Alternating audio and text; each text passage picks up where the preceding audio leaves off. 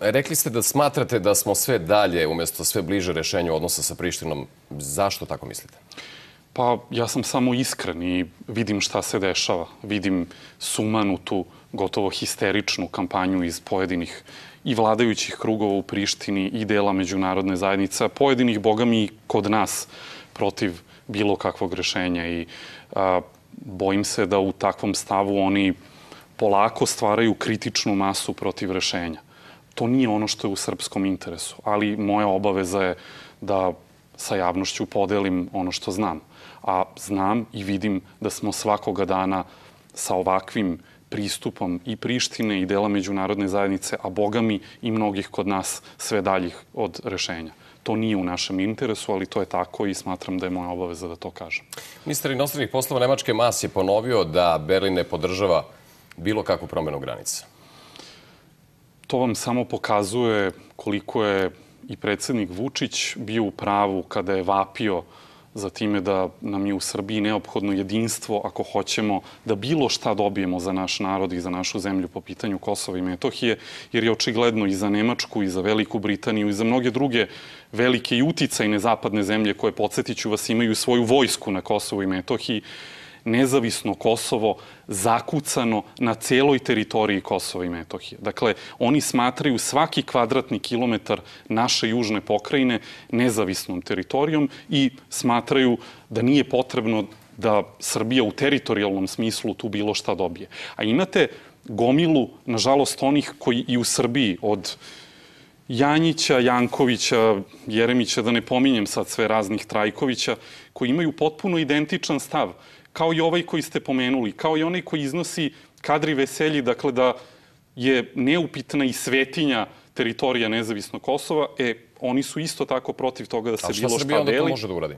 Dakle, ono što hoću da vam kažem i molim vas samo da, da dovršim ovu misao, dakle, zbog toga smo apelovali na jedinstvo, zbog toga ste mogli da čujete i od predsednika Vučića koliko je teško promeniti tu katastrofalno lošu našu poziciju koja je tako veliki i značajan deo čovečanstva na celoj teritoriji Kosova i Metohije proglasio nezavisnost i zbog čega mi zapravo želimo da nešto dobijemo, jer za taj veliki uticajan deo mi ništa nemamo. Danas novi tonovi iz dela sveštenstva Srpske pravoslavne crkve. Čuli smo i malo pre u prilogu. Kako komentarišite izjavu mitropolita Porfirija? On je rekao da je pitanje Kosova najbolnije, odnosno da ne sme biti zloupotrebljeno za postizanje bilo čijih ličnih i partijskih interesa. Hvala Bogu i uveren sam da tiha većina, ali snažna većina i sveštenstva, baš kao što znam da i naš narod vrlo racionalno i razumno gleda na pitanje Kosova i Metohije, za razliku od onih koji se zaklanjaju iza svešteničkih mantija, u stvari se bave politikom. Lično smatram da je ovo jedan i razuman i racionalan stav. Ali ono što hoću da vam kažem je, dakle, danas ste čuli i Beđeta Pacolija koji je danas govorio da su naše crkve i manastiri na Kosovu i Metohiji albanske.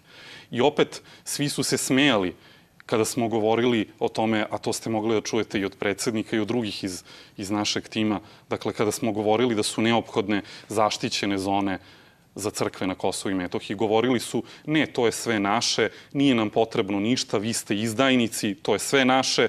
Dakle, sada vidimo samo nekoliko nedelja kasnije da albanski političari otvoreno govore, otvoreno, javno govore da su za njih to albanske crkve i manastiri.